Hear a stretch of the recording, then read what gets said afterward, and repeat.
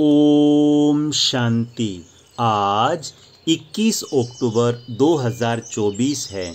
प्यारे बाबा ने हम बच्चों को पुराने संस्कार परिवर्तन कर संस्कार मिलन की रास करने के लिए अव्यक्त इशारा दिया और कहा, बच्चे, जैसे वो बहुत पहले के साउंड को कैच करते हैं, वैसे आप अपने पाँच हज़ार वर्ष पहले के दैवी संस्कार कैच करो, सदैव ये स्मृति में रखो कि मैं यही था और फिर बन रहा हूँ।